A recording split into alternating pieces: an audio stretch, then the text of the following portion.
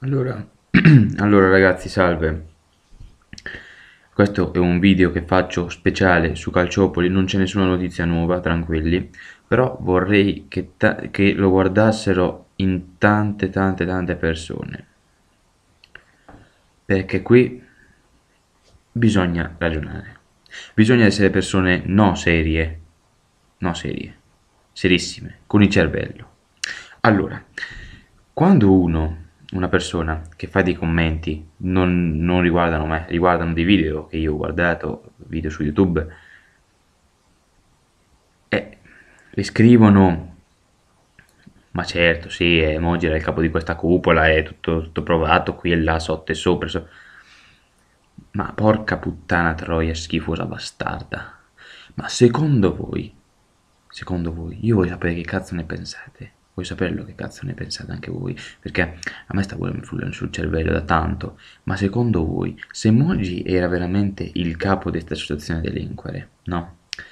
Ma com'è possibile allora che il disegnatore arbitrale in Inter-Juve dice all'arbitro se hai un dubbio favorisci chi è, pensa più a chi dietro piuttosto chi è davanti? Quindi praticamente dice se hai un dubbio favorisci l'Inter e, e non favorire la Juve, cioè favorisci chi, chi sta dietro che è l'Inter. Eh, ragazzi, questa è elementare sta cosa, porca puttana. Cioè, se Moggi è il capo, eh, è il capo. E una cosa del genere non poteva assolutamente mai succedere. Per un semplice motivo, perché se lui è il capo, dice porca troia, io sono il capo, voi fate come vi dico io, sta partita la fate vincere la Juventus. Questo avrebbe detto un capo. Invece in, queste, in questa partita Moggi non esiste. Moggi non esiste. Moggi non esiste. Giraudo non esiste. Mazzini non esiste. Ehm, poi chi cazzo? Cioè, Lanesi non esiste. Nessuno parla con Moggi. Nessuno ha parlato con Moggi. O con Giraudo. O soprattutto con Bettega, che era il vicepresidente. Ma non vi sembra strana sta cosa? Io, io ragazzi, queste sono cose che dobbiamo, dobbiamo pensarci. I Juventini ci, ci avranno pensato sicuramente, perché ci siamo sentiti veramente, non defraudati, proprio tolti, siamo... Ci sembrava come quando è uscita questa telefonata che ci avessero dato una coltellata, uguale, una coltellata, una coltellata, e però tutti continuavano a dire che questa coltellata non esisteva, uguale, uguale, lo stesso, lo stesso paragone una telefonata dove il disegnatore arbitrale, che, dovre, che de, dovrebbe, secondo l'accusa, essere il promotore di un'associazione delinquere che ha come capo Moggi, che ha come capo Moggi, e dovrebbe far alterare tutte le partite a favore della Juventus, dice all'arbitro di favorire l'Inter. Adesso voi mi dovete spiegare come cazzo è possibile. Non è possibile. Non è possibile, non è possibile. Vedete, eh, il ragionamento che ha fatto Carraro sulla telefonata con Bergamo è semplice. Se la Juventus, eh, se Rodomonti fa un errore a favore della Juventus, l'Inter deve dare accordo in Lega per Galliani e se la Juventus viene favorita l'Inter si incazza e la, dato che è la terza grande e deve votare anche lei, anche lei per, per, la Lega è, è normale che non gliela dà, che non glielo dà il voto a Galliani quindi bisogna fare qualcosa per, per fare in modo che l'Inter dia il voto a Galliani. Porca puttana, questo dice Carraro. Se la Juventus ha un favore, eh, è finita. Se sbaglia Collina, di, nessuno diceva un cazzo, perché tanto sanno che Collina era il migliore, sanno che era riconosciuto anti-juventino, quindi non gliene fregava un cazzo. Ecco. Però, e allora cosa dice Carraro? Dice cioè, se Rodomonti sbaglia a favore della Juventus, succede un casino, perché dom- dice domani c'è l'elezione della Lega e, e sarebbe una cosa disastrosa qui. Ma non è che dice non aiutare la Juventus perché è, è sempre così, a sto giro facciamo in modo diverso. No, no, no, no. Dice, se la Juventus viene, viene favorita e arbitra uno come Rodomonti, che è in arbitro, che non, non ha precedenti nel filo juventino, è un arbitro, non, vabbè, un arbitro normale, non è Collina, capito? Non è Collina che è riconosciuto anti-juventino ed era il migliore, è, è un arbitro messo così, era tre anni che ne arbitrava la Juve e, e, non potevano non metterlo. E poi è uscito dalla griglia, cioè, ecco. questo è il concetto, dice, quindi, eh, e Bergamo dice, ma no, guardi, Presidente, guardi che ci parlo personalmente. Hanno tutti infatti l'accusa, l'accusa, Narducci, Capuano, hanno portato la telefonata di Carrare Bergamo in tribunale come prova contro la Juventus, come per dire, eh beh, questi, questi, questo dice, eh, a sto giro la Juventus l'aiutiamo, aiutiamo l'Inter, così ci dà il voto in Lega. Eh no, no, no, no, no, anzi no, no, il loro discorso era, perché Carraro dice farci una partita onesta, onesta, no, dice deve arbitrare in maniera corretta, ma che non faccia per favore, per carità a favore della Juventus, non un disastro. Ma non è che dice eh, non, aiuti, non deve aiutare la Juventus perché, tan, perché è sempre così, ma a sto giro cerchiamo di fare qualcosa di diverso. No, no, no, no, non dice questo Carraro. Carraro dice, se la Juventus viene favorita su questa partita da un arbitro come Rodomonti, e, e sappiamo come, come, la pensa la stampa sugli arbitri che favoriscono tutte la Juventus, domani l'Inter deve dare una lezione in Lega, se la Juve vince con favore arbitrale è un ghetto, è un ghetto e l'Inter non dà il voto a Galliani. Questo ha detto Carraro. E ha detto quindi mi raccomando, mi raccomando, non aiuti la Juventus, non la favorisca, ma non non la favorisca, che dice ah, oh, sto giro non l'aiutiamola, deve, Carraro voleva che la partita fosse arbitrata correttamente, correttamente, e si era raccomandato nel dirgli ascolta, a sto giro l'arbitro deve stare più attento del solito, perché se fa un errore da parte della Juventus è un casino è un casino, perché succede un putiferio e Lega sta in casino, quindi l'arbitro deve stare attento. E perché mi dice, ma guardi che ci parlo io personalmente. E, quindi, e lui dice, se c'era Collina che sbagliava non diceva un cazzo nessuno. Questo è il concetto, questo è il concetto. Non è che la Juve è aiutata, non, lui non vuol dire che la Juve è aiutata, lui vuol dire solamente, se sbaglia Rodomonti a favore della Juve è un cazzo di casino. Quindi non deve sbagliare assolutamente niente contro la Juventus cioè a favore della Juventus non deve sbagliare nulla, se sbaglia a favore dell'Inter, mm, chi cazzo se ne frega, questo è il concetto. E Bergamo, se fa quella telefonata, porca troia, se fa quella telefonata in cui dice a Rodomonti, eh, se hai un dubbio eh, pensa più che dietro piuttosto che davanti, questo non può essere la telefonata di un capo cupola che ha come che ha eh, che è il, lo scagnozzo di Moggi. Cioè, in questo interjuve non esiste Moggi. Se fosse come veramente avreste detto voi, avreste detto voi, intendo coloro che pensano che veramente questo processo sia un processo eh, fatto bene, fatto bene che Moggi sia veramente colpevole, sare- sapete cosa sarebbe successo?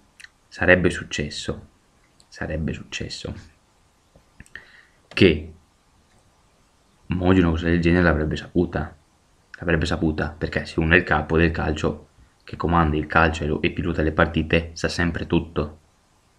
E lui le spie sul calcio, da come dice l'accusa, le, le, ha, ne ha tantissime, secondo l'accusa. E allora se è vero che ha tantissime spie, come dice l'accusa, mm, gli avrebbero riferito che Carrara aveva fatto questa telefonata e soprattutto che Bergamo faceva la telefonata a, Rodom- che ha fatto la telefonata a Rodomonti. Mm. Lanese o Mazzini, questi gliel'avrebbero detto sicuramente se fosse stato il capo. E, e ci sarebbe stata una telefonata tra Moggi e, e, e o Ma, Moggi Mazzini o Moggi Bergamo che dice ma che cazzo fate? Ma che cazzo fate? Ma come cazzo vi siete permessi di dire che deve essere, che deve essere aiutata l'Inter? Comando io, essere, la Juve deve essere aiutata. Questo avrebbe detto un capo una telefonata del genere sarebbe stata una prova incriminante per Moggi. Ma Moggi, su sta settimana, che cazzo ha fatto? Ma come è possibile che, che, eh, uno come lui pilota Juventus Milan e non pilota Inter Juventus? Eh, ragazzi, non è possibile. Non è possibile. Non è possibile. Eh, cioè, questo deve entrare in testa. Deve entrare in testa a tutti. Cioè, com'è possibile che Moggi, eh, che Moggi ha, ha, pilotato, secondo l'accusa, Bologna-Juventus e non, e non pilota Inter-Juventus, che il derby d'Italia, una sfida importantissima? Scusate, eh. Cioè, con questo cosa voglio dire? con questo voglio dire che bastavano due telefonate, due telefonate, due telefonate. La telefonata di Carraro e la telefonata di Bergamo, ma soprattutto la telefonata di Bergamo, che dice che dovevano aiutare l'Inter. Questo dimostra che Mogi non comprava un cazzo di partita. E non è che lo penso io. E questi sono dati di fatto. È un dato di fatto. Perché ragazzi, dai, parti scherzi veramente. Se, se uno è il capo del calcio che comanda, in Bergamo non gli sarebbe mai venuto in mente di telefonare, di telefonare all'arbitro e dirgli guarda, sfavoriamo, cerca, aiuta l'Inter, cerca di dare un aiutino all'Inter, eccetera, eccetera. Non, non, gli sarebbe mai venuto in mente se Moggi fosse stato il capo. Cioè, è elementare questo. Non ci sono dubbi su questo. È così. Eh, non si può, non si può dire altro. Dopo, se voi la pensate in un altro modo, sono d'accordo. Cioè, sono d'accordo. Posso, posso capirlo.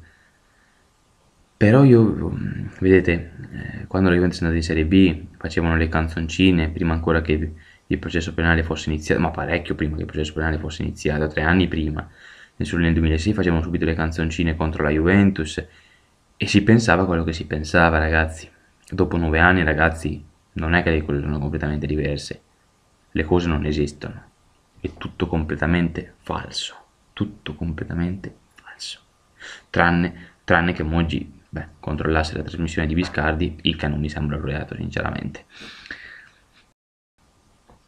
Non, sinceramente tutto questo, tutto questo che è successo, cioè lo squadrone che ci hanno praticamente distrutto, parliamoci chiaramente, ci hanno distrutto una squadra. Cioè se volessimo fare un paragone di intercettazione di Lotito con eh, Pino Iodice, secondo me è molto più grave di quella di Moggi con Mazzini. Molto più grave, molto più grave. Quella di Moggi con Mazzini dice che cercherà di convincere Della Valle in tutti i modi eh, a dare il voto a Carraro in Lega. Non mi sembra uno scandalo, non mi sembra una cosa così scandalosa, lo dice magari Mogi in un tono da, da stronzo, sì, bisogna essere sinceri, dice adesso tanto, lo, adesso tanto ci penso io, lo lavoro io sto stronzo di merda, però mm, non è una cosa così losca, cioè tu, cioè, tu voti per Carraro, sei, il, sei quello che comanda nella Juventus e cerchi di de portare un po' le, la gente dalla tua parte, il calcio funziona così e così non c'è niente di losco, non c'è niente di losco. Dopo le partite che sono state dichiarate pilotate in Cassazione svaniranno. Svaniranno perché sono convinto che la condanna non verrà confermata a Giraudo, no, no sicuramente, a Giraudo no sicuramente. Ma soprattutto io penso che non verrà confermata Moggi. Penso che Moggi non verrà confermata, però ho paura che ci sia un, un rinvio, il che non sarebbe bello ma dato che il rinvio è già stato fatto, spero che il giudice mm, non rinvii niente, perché altrimenti si entrerebbe in vigore la prescrizione, altrimenti sì. E questo processo non deve finire con una prescrizione, questo processo deve finire come deve finire. E se questo processo finirà come speriamo tutti i Juventini che, fi che finirà in un certo modo, succede un casino. Succede un casino. Perché dopo ha voglia di dire Mogi era che scandalo, Mogi era colpevole, giudici di merda se Mogi e Giraudo verranno assolti eh, dopo è un po' dura rimangare la tesi de dell'associazione delinquere. Se verranno assolti tutti dovrete dire. Eh, certo, tutti dovrete dire. Non lo, dirà, non lo dirà nessuno sicuramente però la realtà dei fatti è che sarebbero innocenti. Nei confronti di Giraudo sono molto fiducioso perché Giraudo è rimasto una condanna abbastanza ridicola, ve l'ho detto, ve l'avevo già detto per, per Juventus Udinese dichiarata non pilotata, arbitro assolto, però lui condannato, vabbè. Comunque, ragazzi, in, volevo dire di questa telefonata perché, cioè questa telefonata tra Bergamo e, e, e Rodomonti perché veramente è scandaloso che ancora c'è gente che dice che Moggi era il capo. Basta questa telefonata, bastava portare questa telefonata per, per dire che Moggi non era il capo. Che cos'era? Era un dirigente sportivo, era un dirigente sportivo che, che tentava in tutti i modi di difendere una squadra, anche, anche controllando, essendo amico con eh, Aldo Biscardi, con, gli diceva che cosa doveva mettere, voleva difendere gli arbitri eh, che, che erano considerati pro Juve voleva difenderli nel senso che voleva fare in, faceva in modo che eh, questi arbitri che era preso di Biscardi non gli dasse voti troppo bassi che giustificasse in qualche modo gli errori perché se no tutte le altre trasmissioni di Mediaset erano contro, la RAI era contro, quindi qualcuno a favore lui ce la doveva avere. È normale che mh, mm, non è più così, non è più come nel 2006. Nel 2006 si pensava che veramente che avesse pilotato tutte le partite di campionato, 38 partite. Siamo rimasti a 4-5 partite pilotate mi sembra che la tesi dell'accusa non è molto scarsa, è inesistente. L'unica che si può dire che è pilotata, sinceramente parlando, è Lecce Parma, dove non c'entra niente la Juve, Monge è stato assolto. Su quello si può dire. Va bene ragazzi, dai. Ci rivediamo domani sera con Juventus Sassuolo. Ma questo ve lo dovevo dire perché è veramente una sega. Ciao ragazzi, forza Juve, a domani.